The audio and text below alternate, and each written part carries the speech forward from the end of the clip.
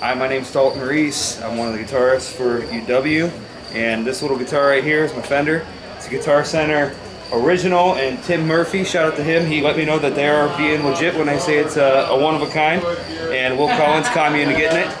And my pedal board here, I go through the Iridium, which is tube amp modular. I love it. Um, my delay, reverb. I got a looper here that I rarely get to use really when it's live. Tube Screamer, don't really use it, just backup. This is a JHS double barrel uh, overdrive. It's got a, a, transparent feature that's really nice for worship music.